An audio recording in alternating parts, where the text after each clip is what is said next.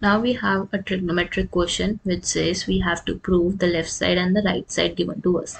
तो left side पे हमें क्या दिया हुआ tan cube theta one plus tan square theta cot cube theta over one plus cot square theta तो tan क्यूब थीटा की वैल्यू आप क्या सब्सिट्यूट करोगे? You can write it as sine cube theta over cos cube theta one plus tan square theta tan की value कितनी है?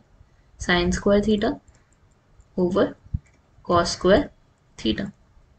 Then cot cube theta को आप क्या पुट कर सकते हो? You can put it as cos cube theta over sine cube theta.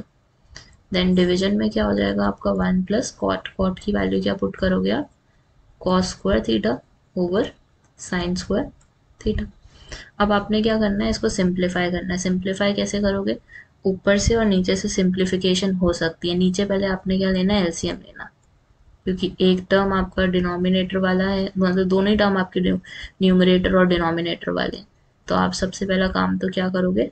LCM लोगे, दोनों डिनोमिनेटर का।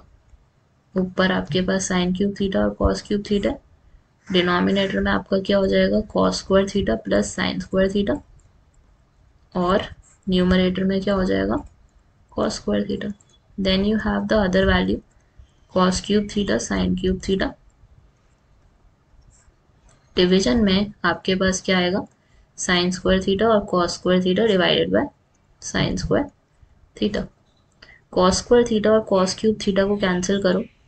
So it will be cancel like this sine square theta और sine theta sine square theta को कैंसिल करो. तो आपके पास साइन थीटा बचेगा. बस कॉस थीटा को नीचे लाना है. साइन थीटा को नीचे लाना है. So it will be sine cube theta over cos theta actually ये वन ही हो जाएगा. इस चीज़ को अगर आप देखो cos square theta plus sine square theta और sine square theta plus cos square theta it is identity तो वन हो गया, बस ऊपर वाली वैल्यूज़ ही बची है हमारे पास, इसका मतलब। और यहाँ पे क्या बचा है? नेक्स्ट टर्म में cos cube theta over sine theta अब आपने इसको ऐसे सिंप्लीफाई करना है कि हमें राइट साइड मिल सके। तो यहाँ पे आप एलसीएम लोगे सबसे पहले तो। और एलसीएम में क्या आएगा आपके पास? साइन की power four theta plus cos की पावर फोर थीटा डिवीज़न में क्या आएगा आपको? Cos theta dot sine theta अब साइन की पावर फोर थीटा और कॉस की पावर फोर थीटा है।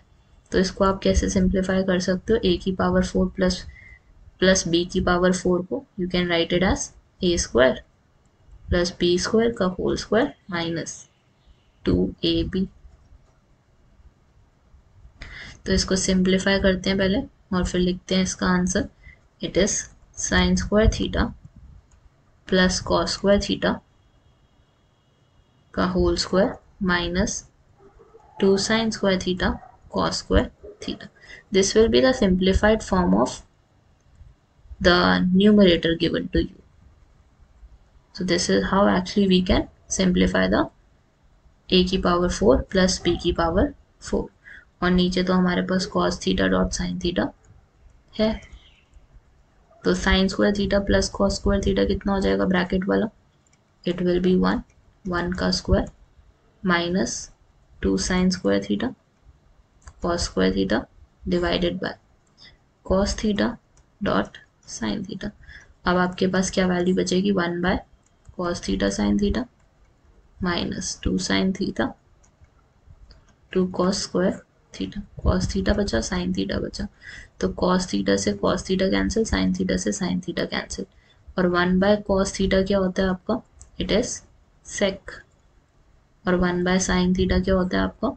It is cosec theta minus second term क्या आपकी? Two sine theta cos theta.